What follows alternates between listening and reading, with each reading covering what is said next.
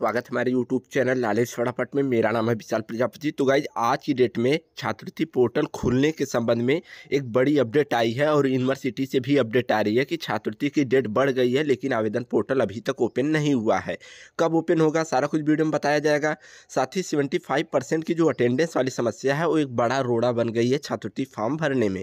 तो चलिए, बिना देरी किए हुए स्टार्ट करते वीडियो को। अगर आप लोग चैनल पर नए हो तो चैनल को सब्सक्राइब कर लीजिएगा। आज के अमर उजाला के न्यूज़पेपर में ये अपडेट अपडेट आई यहाँ पर आप लोग देख सकते हो, अमर उजाला का न्यूज़पेपर है और बोला गया है कि छात्रवृत्ति की आवेदन की तिथि सॉरी छात्रवृत्ति की आवेदन की तिथि बढ़ी। पर वेबसाइट नहीं खुल रही, यही आपकी भी समस्या आपके भी सवाल है। देखो क्या बोला गया है कि दसमोत्तर छात्रवृत्ति के आवेदन की तिथि बढ़ाकर 10 दिसंबर कर दी गई है। तो अब भाई देखो, न्यूज़पेपर में भी बोला जा रहा है 10 दिसंबर कर दी गई है। तो अब ऐसा मत सोचना कि वो खबर फेक थी क्या, सर? ऐसा तो अपने दिमाग से निकाल दो कि दस दिसंबर तक जो डेट बढ़ने वाली न्यूज़ थी वो फेक थी, ऐसा कुछ भी नहीं, वो न्यूज़ प्योर एकदम रियल है। लेकिन अब तक वेबसाइट नहीं खुली है। इससे छात्र परेशान हैं। स्नातक और परास्नातक के तमाम विद्यार्थी आवेदन नहीं कर पाए थे। ऐसे में शासन ने तिथि 10 दिसंबर तक बढ़ाकर कर दी है, लेकिन वेबसाइट न खुलने से विद्यार्थी आवेदन नहीं कर पा रहे। छात्रों ने डीएम से समस्या का समाधान कराने की मांग की है।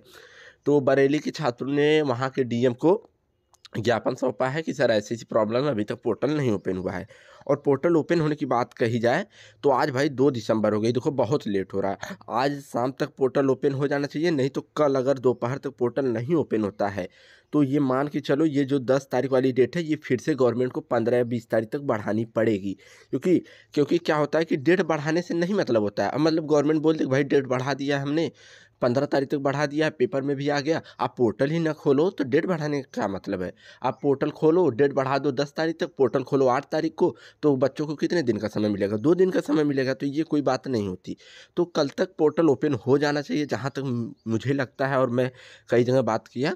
अगर नहीं होता है कल पोर्टल ओपन, कल भी नहीं होता। तो इस, समझ लीजिए आप लोग कि डेट तो बढ़ेगी फिर से। समझ पहले आपको करना क्या है? क्रोम ब्राउज़र पर boards exam dot com search कर लेना। जैसा कि मैं आपको बार बार बताता हूँ, जैसे ही सर्च करके आओगे तो UP scholarship payment status UP scholarship online दो हज़ार बाईस से। अभी तो देखो पोर्टल बंद है? अभी करंट के टाइम तक बंद है।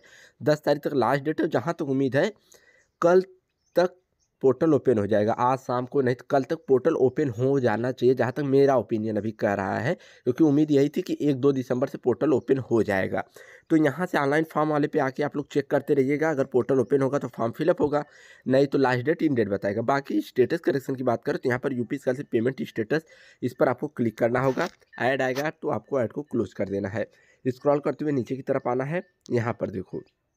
प्री मैट्रिक पोस्ट मैट्रिक सभी के लिए स्टेटस और करेक्शन के लिए यहाँ पर लिंक दी गई है, जहाँ से आप लोग अपना स्टेटस और करेक्शन कर सकते हो। अटेंडेंस वाली प्रॉब्लम यहाँ पर आ गई है, आप लोग देख सकते हो, छात्रवृत्ति में अब फंसा पचहत्तर फ़ीसदी उपस्थिति का पेज और ये लखनऊ विश्वविद्यालय समेत उन सभी छात्रों के लिए पेज बनकर रह गया है मतलब जो, जैसे लखनऊ विश्वविद्यालय हुआ और जो भी यूनिवर्सिटी है, जो छात्रों का एडमिशन लेट हुआ है और उनको हॉस्टल बाद में मिला है तो उनकी भाई अटेंडेंस कितने परसेंट बनेगी? अभी वो दस दिन भी क्लास नहीं की है तो उनकी सेवेंटी फाइव परसेंट अटेंडेंस कहाँ से होगी? तो यहाँ पर देख सकते हो, लखनऊ विश्वविद्यालय के रजिस्ट्रार संदर्भ मेधावी से छात्र मिले हैं और उन्होंने बताया, सर ऐसी ऐसी प्रॉब्लम है।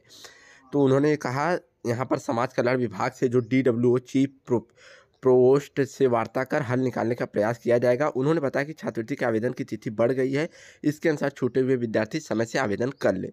समझ गए? तो ये अपडेट थी। बाकी मुझे नहीं लगता ए के के छात्रों को सेवेंटी फाइव परसेंट वाली अटेंडेंस में कोई प्रॉब्लम हो रही होगी। उनका सब कुछ सही है, किसको प्रॉब्लम हो सकती है, वो जो फ़र्स्ट ईयर वाले अभी आए हैं ए के के छात्र, उनको थोड़ा प्रॉब्लम हो सकती है। बाकी यार देखो पोर्टल ओपन होता है, कोई भी अपडेट आती है, आपको सबसे पहले मैं बताऊँगा, बस हमारे साथ आप लोग जुड़े रहो और सब्सक्राइब करके बेल आइकन को प्रेस करके ऑल पर क्लिक कर लो, ताकि कोई वीडियो डालो, तुरंत नोटिफिकेशन पहुँच जाए। समझ गए? तो चलिए, तब तक के लिए बाय बाय टेक केयर